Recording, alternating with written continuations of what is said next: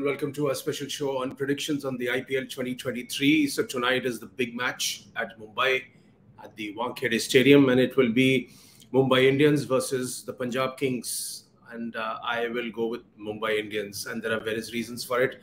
But before I come down to that, let me also inform you about a few important stats.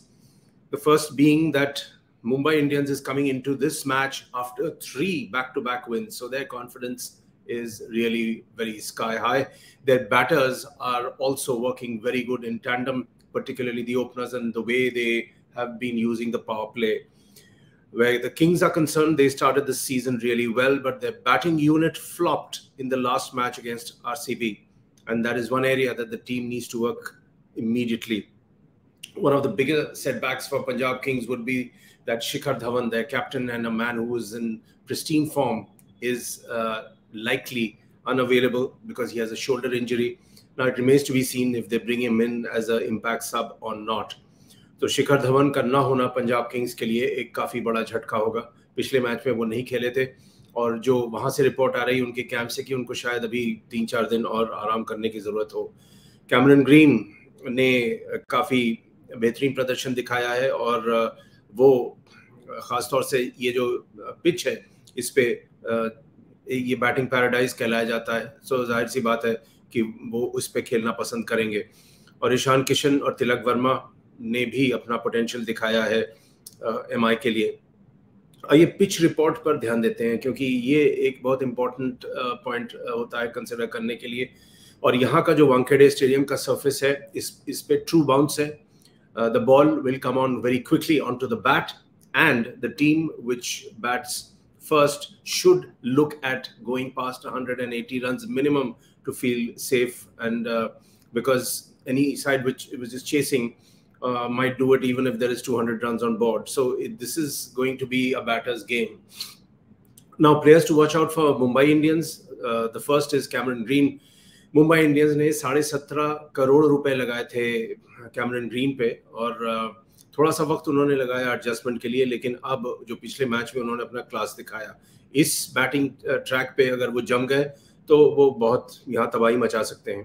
Piyush Chawla लेगी हैं, पुराने leg spinner हैं experienced हैं, अमित मिश्रा की category में वो आते हैं, और उनको पता है कि अपने एक्सपीरियंस को कैसे इस्तेमाल करें तो वो एक थ्रेट होंगे।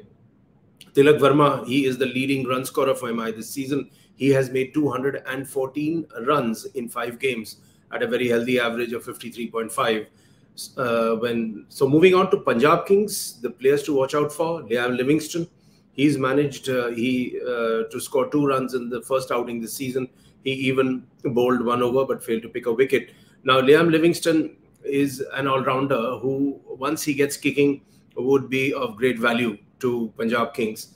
Sam Curran, the most expensive player in the IPL, over 18 crores. So he's had too much to chew on. अब शिखर धवन चूँकि इंजर्ड हो गए तो सैम करन को कप्तान बना दिया गया हमारे वीरू सहवाग ने अपना ये साकास्टिक एक डायलॉग भी मार दिया ये कह के कि 18 करोड़ से एक्सपीरियंस आप नहीं खरीद सकते तो वो वीरू का अपना स्टाइल है बोलने का अब सैम करन ने अब तक 87 रन्स बनाए हैं छह इनिंग्स में जो ज़्यादा नहीं है और अब तक पाँच विकेट भी लिए हैं। उम्मीद ये होगी कि अगर शिखर धवन नहीं खेलते हैं तो सैम करन पे बैटिंग का भी प्रेशर होगा। पिछली बार मैंने खुद ही देखा जिस हिसाब से वो रन आउट हुए वो बहुत एक ढीला टाइप का रन था और सैम करन से ये उम्मीद नहीं है, है पंजाब किंग्स की। अर्शदीप सिंह उनके ओपनिंग बॉलर हैं अच्छे फॉर्म में है। अब तक उन्होंने एक विकेट लिया है। Just one wicket sorry he is just one wicket away from picking 50 wickets in IPL overall. And he has taken nine wickets in six games so far. So Ashdeep is in good nick. Now let's talk about the strengths and weaknesses of both the sides. I'll begin with Punjab Kings. So they will miss skipper Shikhar Dhawan. And Shikhar has been in great form.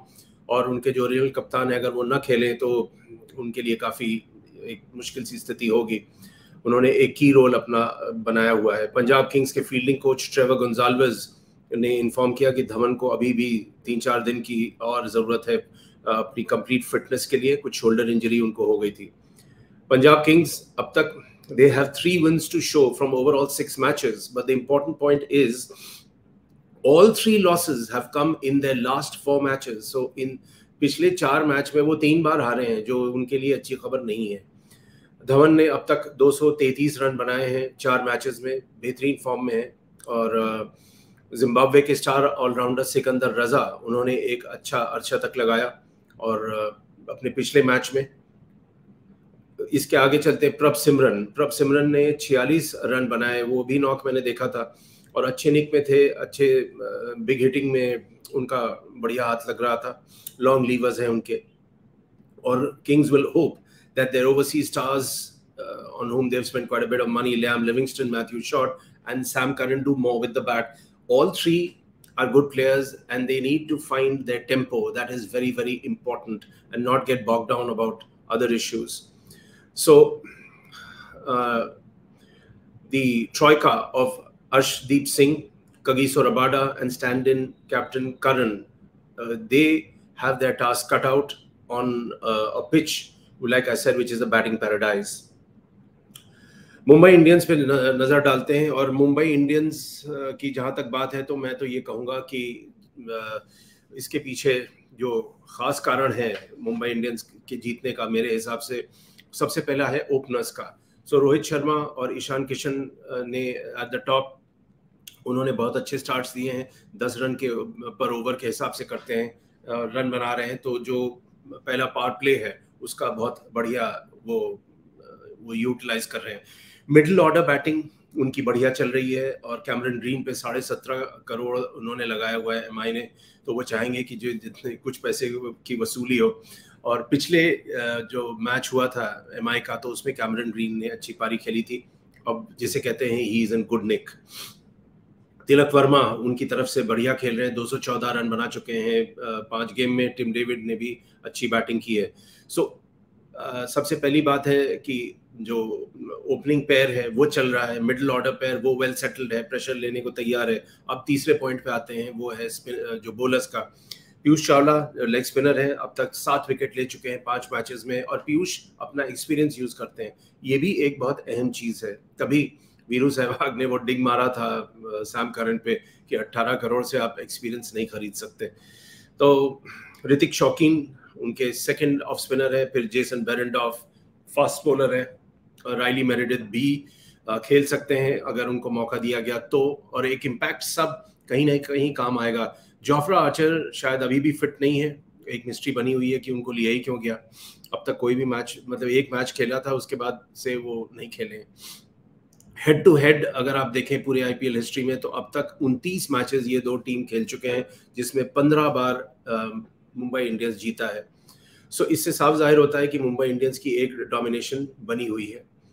अब हम आते हैं probable playing 11 पे for Mumbai Indians और इसमें the team looks pretty well settled so they don't have many worries. They just need to figure out whether uh, to use Riley Meredith or not.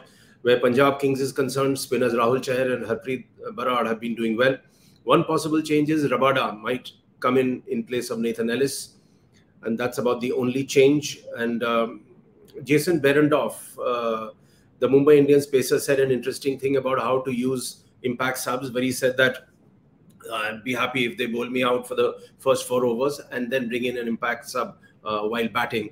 So that is the way to go. मेरा मानना है कि to wrap this up Mumbai Indians ही जीतेगा, उसको जीतना चाहिए इस गढ़ पे वानखेड़े स्टेडियम पे। पंजाब किंग्स की कई दिक्कतें हैं और ये इतने शॉर्ट नोटिस पे मुंबई इंडियंस जैसी टीम को हराना बहुत मुश्किल होगा। Thanks for watching